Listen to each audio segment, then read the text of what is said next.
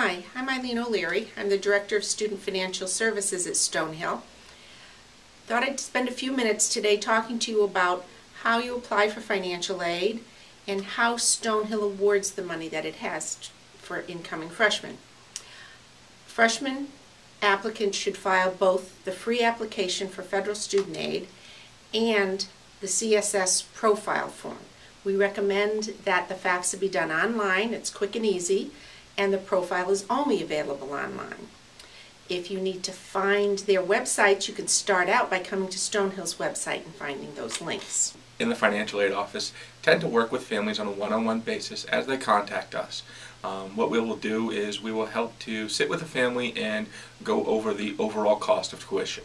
Um, we'll break down what the federal government said you can contribute towards your financial aid, as well as the information that um, the CSS profile has ca- calculated for your financial need.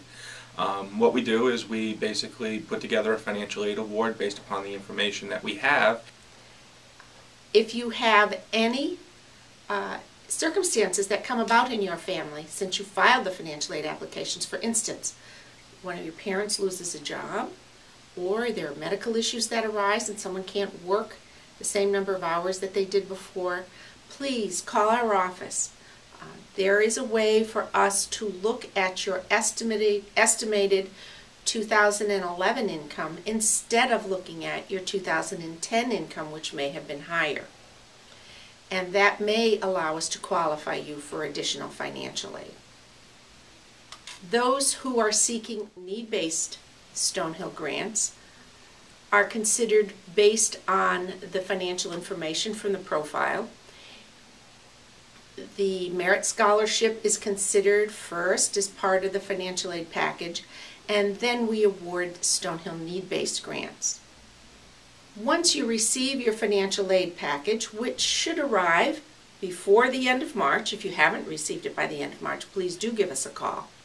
That gives you the month of April to look over your award from Stonehill and also the awards that you receive from any other schools where you were accepted.